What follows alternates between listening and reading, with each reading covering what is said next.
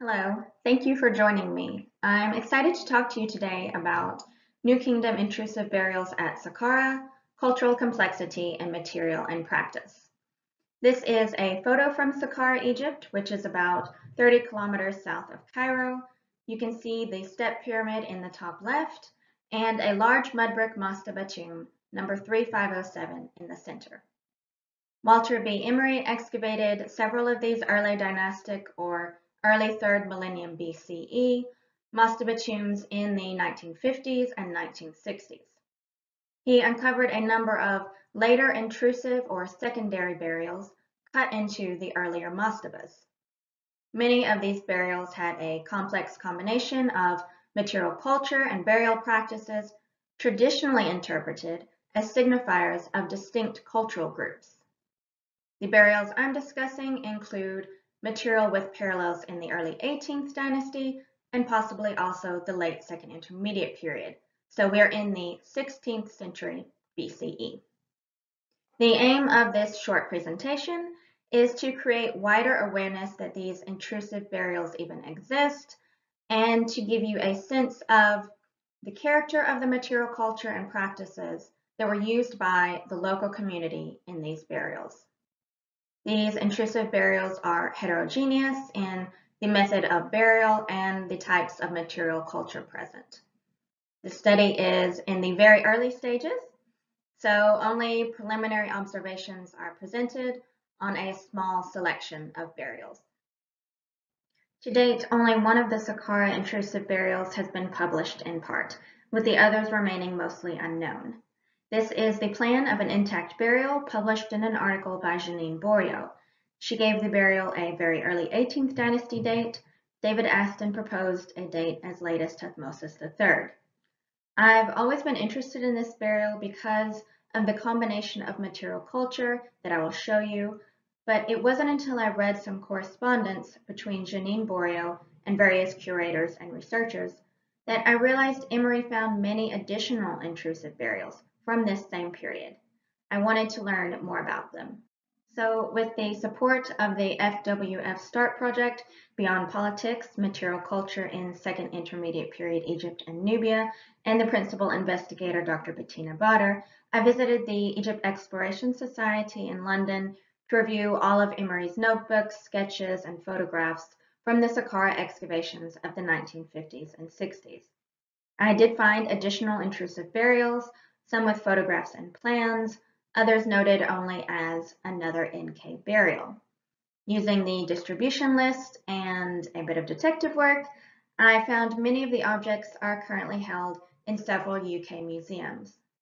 I was only able to visit the British Museum and Manchester Museum before I had to end my research trip early due to the coronavirus travel restrictions. Hopefully, I will be able to continue recording this material in the not too distant future. Using the records in the Egypt Exploration Society archives, I found intrusive burials of this period not only in Mastaba 3507, but also in five other mastabas. Due to my limited time, I will focus on a few examples of intrusive burials in Mastaba 3507. Emery excavated this first dynasty or early 3rd millennium BCE tomb for the Egypt Exploration Society in late 1955 and early 1956. These photos show the preservation of the mastaba at that time. Let's look at the burial that started this study for me. You saw the plan from Bourriau at the beginning of the presentation. Here is an unpublished photo of that burial in situ. The body is supine extended with remains of linen wrappings and small fragments of a painted cartonnage mask adhered to the skull. This burial had wood fragments of what was probably a coffin, and you can see the row of bricks on either side of the body from a vaulted superstructure. In his excavation daybook, Emery said the body is female, but in an EES booklet, he said the body is male. So the sex is not certain. The majority of the grave goods are clustered near the head. I studied the vessels from this burial that made it to the British Museum, pottery belonging to the Egyptian tradition, includes two drop-shaped jars. You can see one at the left of the screen. There is a so-called flower pot at the top of the screen. This is a bowl with a hole intentionally pierced through the base. We don't know the function of these vessels, unfortunately. There is a beaker, biconical jars, and shallow dishes. Taken together, this corpus fits very well with parallels from early 18th dynasty context. However, we must be careful because this style of pottery does not appear at the same time across Egypt. And there is no sharp dividing line between the material culture of the end of the second intermediate period and the very early 18th dynasty. So we need to be cautious with these dynastic dates. There is also a large amphora that could be Egyptian or Levantine production. From the photo, I think it is likely to be Egyptian, but I can't be certain and I don't know the current location of this amphora. There is an Egyptian alabaster kohl pot and three blue faience vessels with black decoration of pendant triangles, lotus blossoms, and waving straight horizontal bands. A Cypriot base ring one-ware jug is also present, you'll see that a little later, as well as two Nubian or Nubian style beakers. The inclusion of these beakers led Emery to call this a Nubian burial, and Bourriau called it a Kerma burial. We need to take a closer look at these beakers. This is one of those beakers. You can see these are not the fine classic Kerma beakers that spring to mind when you think of Kerma pottery. They are handmade, but with thick walls an uneven rim, a rippled exterior surface, and heavy trimming lines on the interior. They are burnished, but nothing like the highly polished classic Kerma beakers. Even the shape and the brown color of the oxidized area is unusual. We cannot assign this to the chaîne opératoire of the classic Kerma tradition. It also does not belong to the Egyptian pre-dynastic tradition. Perhaps it is Kerma récent, but for now, I'm only calling it Nubian style. Certainly, we should not try to assign an ethnicity to this person based on these two unusual beakers. In my studies so far, I have found only two additional beakers from the intrusive burials. One is another unusual Nubian style beaker that differs from the beakers in this burial, but again is not classic Kerma pottery and there is one proper classic Kerma beaker. No other Nubian or Nubian style pottery was found or it was not recorded by Emery. This Cypriot base ring 1 jug from the burial is an import. The introduction of base ring 1 ware into Egypt has been dated from the late second intermediate period to Thutmosis III. That's quite a range. I will not be settling that Cypriot pottery feud today.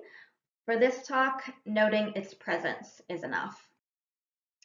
My favorite object from this burial is an Egyptian faience interpretation of an Aegean shape. This is a libation vessel called a rhyton. This type of conical rhyton with a vertical handle is not an Egyptian innovation. The shape originated in the Minoan and Mycenaean cultural spheres. This Saqqara rhyton is the result of Egyptian material and techniques being used to reinterpret an Aegean form. The rows of pendant triangles below the rim and a lotus blossom enveloping the lower body fits very well into the Egyptian repertoire of motifs for faience vessels. This is not the only example of a faience rhyton. I know of five others found in Egypt and Nubia. There are many more in clay. The pendant triangles found on the Saqqara rhyton is a common motif on the other examples as well. The faience jewelry from this burial is impressive. There is a necklace of disc beads in the top left photo. The necklace in the top right photo has disc beads ring beads, and melon ball beads. Both types of necklaces will be familiar to anyone working on Second Intermediate Period and 18th Dynasty material in Egypt and Nubia. The collar in the bottom right photo is made of long tubular beads with a pendant that I think is a schematic falcon. This one burial has elements of Egyptian, Nubian, Cypriot, and Aegean influences in the assemblage. Let's move on to one of the unpublished intrusive burials from Mastaba 3507. This child was buried in the Mastaba in Magazine J, so we have a bit more information about the location here. The body was placed in an undecorated wooden coffin in a contracted position lying on the right side with the head facing south. Outside of the coffin near the head is a drop-shaped jar with a dish lid, an ovoid jar, and a bowl containing food remains. Emery recorded the bowl as having a black painted rim. I can't see a black rim in the photos. However, there are black rim bowls in several other burials, and it would not be out of place here. Inside the coffin, a biconical jar was placed at the pelvis and femurs. A small broken jar of unknown type is just below, and then you can see a small faience cylindrical vessel. It had remains of a linen covering tied over the rim, a string of faience beads was wrapped around this vessel as well. A dom palm fruit is in front of the feet. Faience beads were found at the neck, both wrists, and both ankles. So far, the only part of this burial assemblage I've been able to locate is the blue faience vessel. I found it thanks to the J9 written by the excavators and recorded in the Manchester Museum database. It's object number 9 from Magazine J. In contrast to the first burial we looked at, all of the objects here fit well into Egyptian material culture traditions. There are no imports or obviously non-Egyptian style elements. Before moving on to the next burial, I pulled together a slide of vessels from other intrusive burials to give you a better sense of primarily the pottery corpus, because the pottery is what provides most of the chronological information about these burials. I won't go into detail. There are a lot of bowls and jars with black painted rims. This is a well-known feature of the early 18th dynasty across Egypt and possibly the late 17th dynasty at Thebes. I have two biconical jars with white slip and black rims. If you know of parallels for this, I would be very interested and my email will be on the last slide. There are alabaster kohl pots, some with a completely carved out interior, and others are drilled in the center. The next burial I will talk about was quite a surprise when I saw the photo. This individual was buried on a wooden bed. This was an unexpected find because although bed burials are known in Egypt in the first dynasty, bed burials in the second intermediate period and early 18th dynasty are predominantly associated with Kerma burials in Nubia this bed is a simple construction of Reisner's so-called Angarib type. There is no footboard, headboard, or bed legs carved in the shape of animal legs. The person is a female in a contracted position on her right side with the head facing west. Thin braids of dark brown hair were still preserved on the skull. Some bed burials in Nubia had the body wrapped in animal skins, here the bed and body were covered in five linen sheets. If anyone listening is aware of additional bed burials in Egypt from this period, I would very much appreciate a comment or email from you. Before I take you on a bed burial tangent, let's look at the rest of this burial assemblage. Vessels are clustered near the head and partially underneath the bed. There is a drop-shaped jar, a large bowl with pedestal base, bowls with ring bases, and a faience carinated bowl. A blue glazed scarab was found at the left hand, but unfortunately there is no documentation of any base motif or the back type, so I really can't say more about the scarab at this time. She had a necklace of faience beads. At the lower ribs was a bowl with a kohl pot inside. This burial has objects completely at home in the Egyptian repertoire. But the placement of the body in a contracted position on a bed is not a common occurrence in Egypt, but is better situated in Kerma in Nubia. This was not the only bed burial in Mastaba 3507. Multiple entries in Emery's daybook succinctly said another NK bed burial. This is the only other bed burial with a photo. You can see it is the same Angarib type of bed only part of the bed and body were still extant in this burial, there is a drop-shaped jar near the head and partially under the bed. This placement of a drop-shaped jar near the top of the head is a common practice among these burials, as you may have noticed. This is also a helpful photo for visualizing exactly how these burials were cut into the mastaba. You can see part of the western facade in the lower left. Although the practice of burying a person on a bed is mostly associated with uh, Kerma material culture in Nubia, the Angarib bed was also a part of Egyptian material culture and found in settlement and tomb context.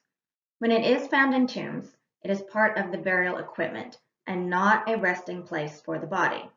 That is an important distinction to make. The Deir el-Medina Angarib beds in the Eastern Cemetery were recorded as showing traces of use and were probably used before being included in the burial assemblages. The bed from Amarna was not found in situ, but rather dumped in a street in the workmen's village. The Angarib bed is still used today in Sudan, although the tradition is waning and there are only a small number of craftsmen who still know how to build them. The British Museum's Amara West project and curator Manuela Lehmann worked with a craftsman named Mustafa to build a modern bed based on ancient bed fragments found at Amara West. If you want to know more about that interesting project, please check out their blog. You can find Angarib beds in modern Egypt as well. This February, I saw this Angarib bed outside on the street on Elephantine Island. It was a lucky find for me. Back to the Saqqara burials. How can we or should we talk about this complexity in material culture and practice? When considering the bed burials, Emery used a cultural historical approach.